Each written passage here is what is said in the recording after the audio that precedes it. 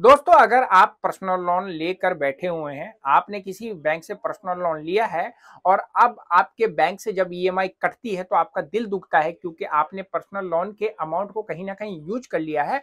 पैसा आपके अकाउंट से कटता है, दिल आपका यहाँ पे जलता है। तो इस जलते हुए दिल को कैसे आपको बुझाना है, यानी कि अपने पर्सनल लोन को कैसे जल्द से जल्द खत्म करना है, यह इंफॉर्मेशन इस वीडियो में देने जा रहा हूँ।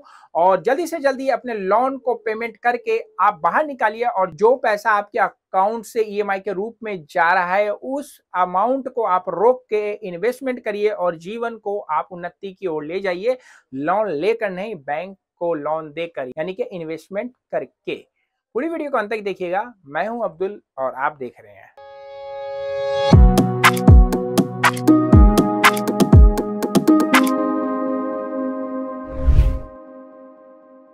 अगर आपने किसी बैंक से पर्सनल लोन ले रखा है, चाहे स्टेट बैंक ऑफ़ इंडिया से ले रखा हो एच से ले रखा हो, आरबीएल से ले रखा हो, सिटी बैंक का अगर आपने पर्सनल लोन ले रखा है, कोटक बैंक भी पर्सनल लोन देता है, या किसी non banking finance company like के आपका आदित्य बिरला हो गया, टाटा कैपिटल हो गया, या फिर आपने पेशेंस से लोन ले रखा है तो ये सारे बैंक्स आपको इसलिए पर्सनल लोन देते हैं क्योंकि यह लोगों के पैसों को अपने पास रख के उस पैसों को इन्वेस्टमेंट करते हैं। इन्वेस्टमेंट का मतलब आपको देना और आपसे ब्याज कमा के उन लोगों को वापस देना और खुद भी कुछ कमाई करना बैंक का मैन मोटो आपसे ब्याज कमाना है और आप लोगों का मैन मोटो पैसे लेकर कोई ना कोई काम करना है। लेकिन ज़िंदगी में कभी कभी ऐसा होता है, जैसे कि बहुत सारे क्रिकेटर आप लोगों को सिखा रहे हैं कि चल पैसे लगा, ड्रीम इलेवन खेल, कोई कह रहा रम्मी सर्कल पे पैसे लगा ले।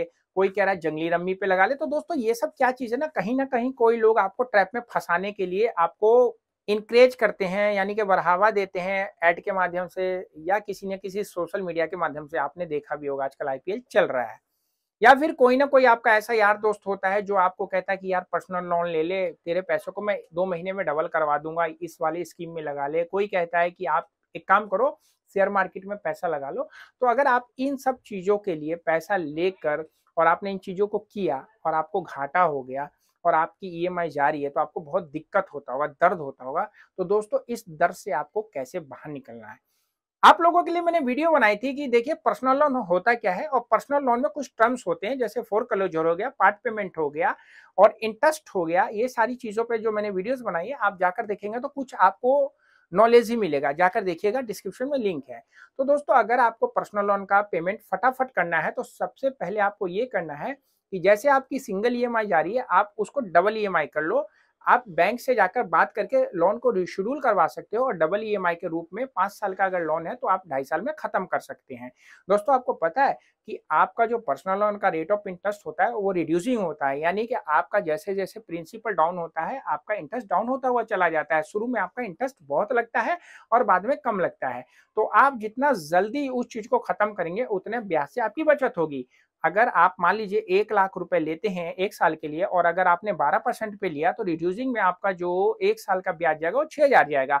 और उस एक लाख को अगर आप रखेंगे पाँच साल के लिए तो टोटल आपको एक लाख तीस हज़ार रुपए बैंक को पे करना होगा।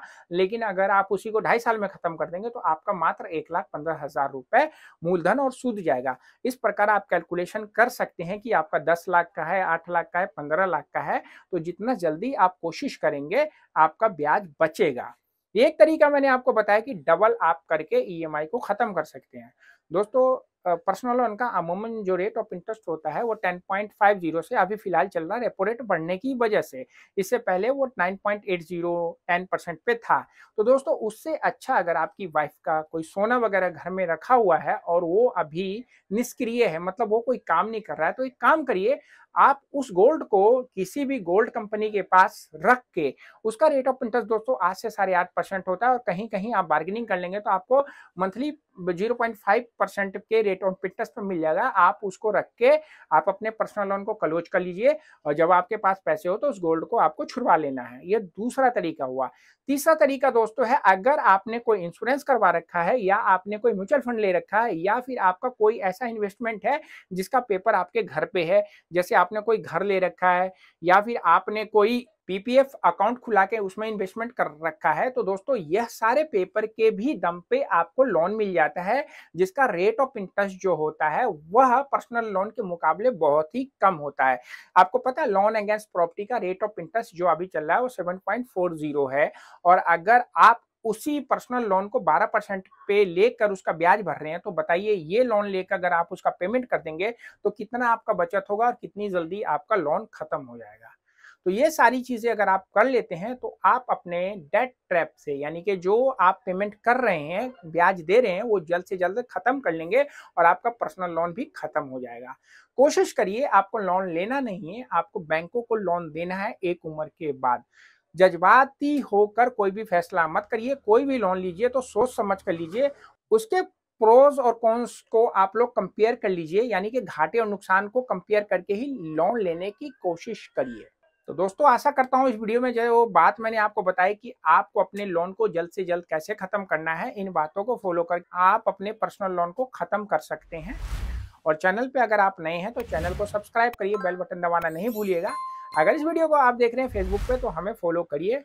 हमारी वेबसाइट www.hktips.com विज़िट करिए और ब्लॉग पढ़िए। ब्लॉग मिलेगा वो जो आपके काम का हो। वीडियो को लाइक करिए शेयर करिए और कमेंट्स करना नहीं भूलिएगा। कोई सवाल या जवाब मन में आ रहा है, कोई डाउट है कॉन्फिडेंशियल है तो इस व्हाट्सएप में आइए, मैं और मेरी टीम हेल्प करेगी उसका आंसर देने में। मिलते हैं फिर नेक्स्ट वीडियो में, रखिए शत का ख्याल। दोस्तों, जान है तो जहान है। सी यू